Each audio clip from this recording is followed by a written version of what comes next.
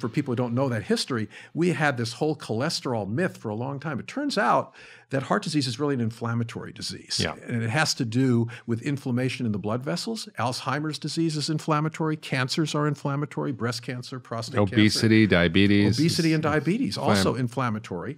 Um, the diabetes one is really interesting, actually, and it's related to your sugar hypothesis. So every time your blood sugar goes up, your pancreas has to put out a squirt of insulin. There's a little protein called insulin associated polypeptide, which feeds back onto the pancreas to turn off the little squirt of insulin after it goes up. So if you look at your blood level, it looks like the surface of the ocean, but underneath, you've got all this activity going on maintaining Sure. your glucose. Yeah. And in people who are obese, they excrete a hundredfold excess of the insulin associated polypeptide, gets back into the cell in what's called the endoplasmic reticulum of the cell, and blows it up and kills it over a period of two to 10 years. Mm-hmm. So, a, a type 2 diabetes, which we never understood in medical school, is really caused by obesity. I call it diabesity because 95% of the people are obese. And uh, we can solve this problem tomorrow. We have very large studies, uh, the diabetes prevention program, 5% weight loss, when people who already had high blood sugar very Yeah. late in the disease. Oh, we get people who are reversed it. on insulin who've Oh. been diabetic for 20 years, reversing it in three weeks. Well, the overuse of insulin is amazing. I, my first paper in 1977 as a resident was on diabetic ketoacidosis, uh, type 1 diabetics. And for some reason, doctors were using 70, 80 units, and we reduced it to like seven or eight units with adequate hydration.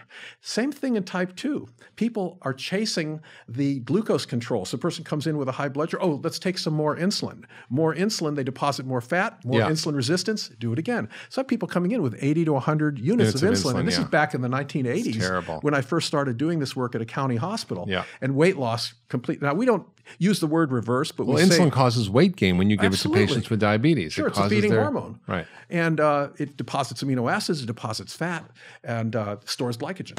So the thing about uh, the, the loss of weight in these people is so obvious. I call it remission, putting it into remission because Yeah. they have at risk to regain again. Sure. But we have had over 2,000 cases in our obesity center at UCLA, and there was a myth that diabetics lost weight more slowly than people who are not. And so we took plain obesity, pre-diabetes, and diabetes. As long as they came to clinic, they lost weight at the same exact rate over time. We have uh, uh, 2,000 cases of that.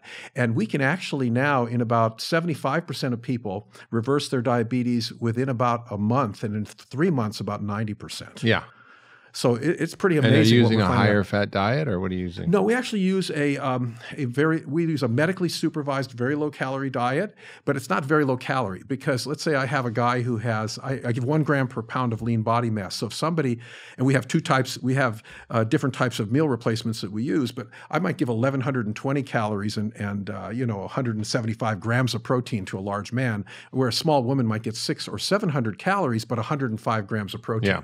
So and But you know what's interesting? There's fat. data that you don't have to restrict calories and you can achieve the same thing by increasing fat and limiting carbohydrates.